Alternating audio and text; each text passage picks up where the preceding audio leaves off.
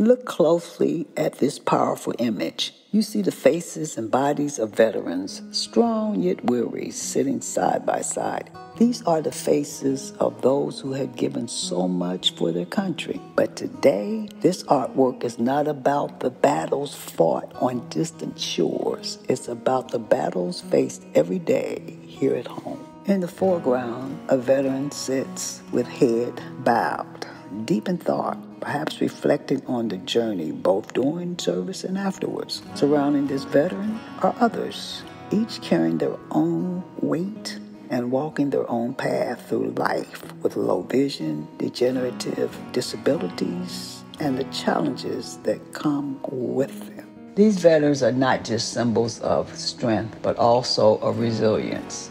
Their bodies may bear scars, and their sight may have dimmed, but their spirit shines as brightly as ever. They have learned to navigate a world that sometimes feels distant and unfamiliar. Yet they find ways to cope and rise each day with strength and determination. Their resilience is not just admirable, but also inspiring, showing us all that no barrier is insurmountable.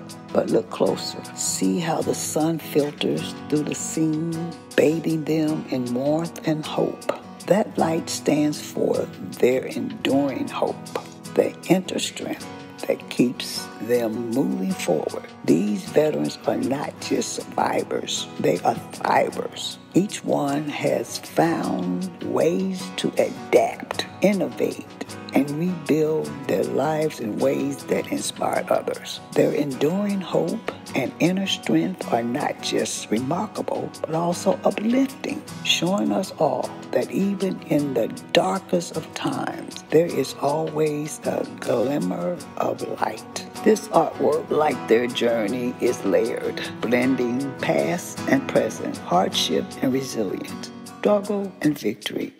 It is a testament to their courage and ability to find beauty and purpose, even when the path ahead is unclear. As you reflect on this piece, take a moment to honor their strength. These veterans show us all what it means to endure, overcome, and rise again.